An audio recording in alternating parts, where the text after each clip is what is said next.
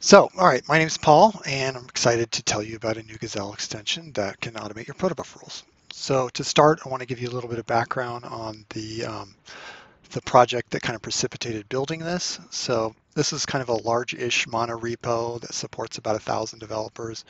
Contains about 100, 450 protofiles spanning, you know, five or six different languages. It uses a standard, you know, collection of proto and gRPC plugins plus a number of custom plugins. The legacy workflow was you know, slow, non-incremental, involving makefiles and Docker files. And using this approach with Bazel and Gazelle, we're able to migrate this to uh, just the build files. It's now incremental and fast. And the developer workflow is this. Um, you know, as a developer, I can just create or edit my proto file and then run Gazelle, and I don't have to do pretty much anything else.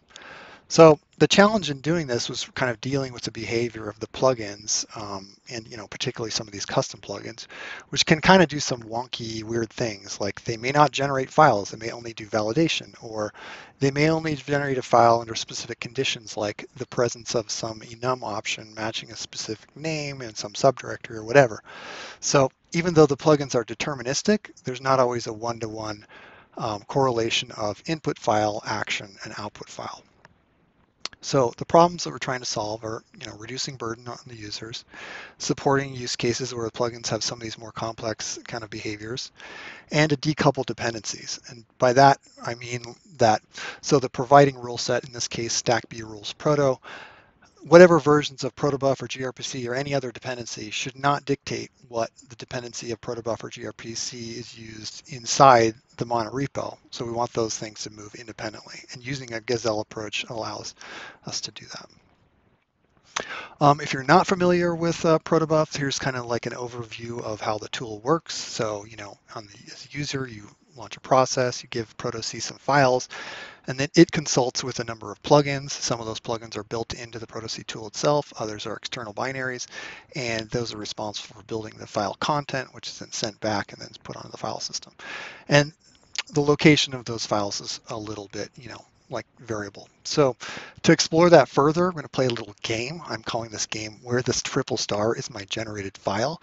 And you will be given a proto file and some options, and you have to predict where the file is going to end up. So for the first one, super simple proto file, gen go. So where does this end up? Well, it doesn't go anywhere. This is an error because protoc gen go actually doesn't know where to put this. So in the next example, we've introduced this Go package option. So we run this, indeed, the protofile is relative to that Go package um, option.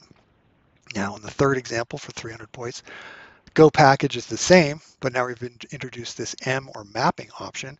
And indeed, when we run this, uh, it overrides everything else. So that wasn't so hard. You probably did very well, but we can kind of use this to help crystallize our understanding of the types of information that we need in order to correctly predict where a generated file will end up. And it turns out there's three. So you need to be able to read the protofile because it's really the source of truth. You need to, you know, know the ProtoC options, and you need to have some understanding of how the plugin implementation works and how it interprets the first two. And that's key because kind of the, this Gazelle extension is really a little mini you know, framework for predicting where our generated files are going to end up. And I think it underscores why proto rules are a good fit for Gazelle because rather than waiting until the you know the user types Bazel build, we can um, and you know we have one hand tied behind our back because Starlark doesn't let us read the actual file um, we can shift all that complexity into Gazelle where, you know, we can use like better tooling, you know, static typing, Go compiler, write better tests. And as a result, the remaining Starlark logic becomes like really refreshingly simple. So here's the repository. It's calling it Stack Rules Proto V2. Um, it delegates um, to the built-in Gazelle extension, which uh, you know has one responsibility, which is generating the proto library rule. And then this extension maintains a registry of plugins, and those plugins mirror the behavior of their corresponding tool. It has a registry of rules, and these rules are the little factories that produce the things that Gazelle actually merges into the build file. And then you take these um, plugins and rules and configure them as a language, and that language is the thing which determines on a per proto library basis the child rules that are uh, generated as a result. Let's take a look at that. These are the Gazelle directives. So the first line is basically declaring that we're using this built-in Java plugin, we're assigning an identifier called Java in yellow. And then in the next two lines, we're sort of declaring that we're using two rules. Those are in blue. And in the third part, we're kind of tying those all together, um, giving it an identifier called Java. And then when we take a build file and we say Gazelle Proto Language Java is enabled, and you have a proto library rule, when you run this, you get a proto compile rule and a proto Java library rule. So the proto compile rule is the thing which actually you know runs proto C, generates this thing source jar, and proto Java library is consuming the thing source jar in its sources attribute. Quick uh, note about this name proto Java library. We could have written this to say just Java library because the actual rule is just a super thin wrapper over the native one.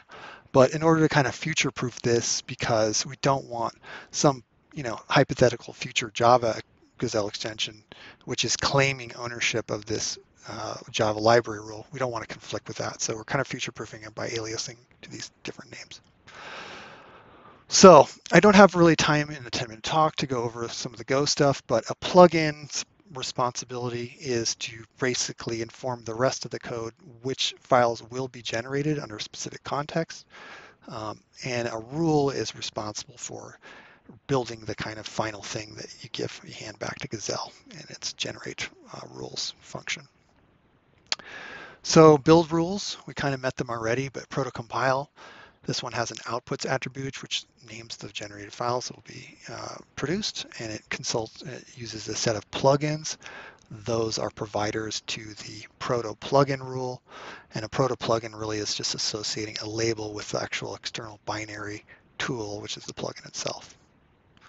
So the remaining time, let me show you a really cool uh, repository rule called proto repository. And if you know how Go repository works, it's basically, you know, uh, it downloads something from the internet, runs Gazelle over those files. This does the same thing, but instead of, you know, it's got this new Gazelle extension built into it.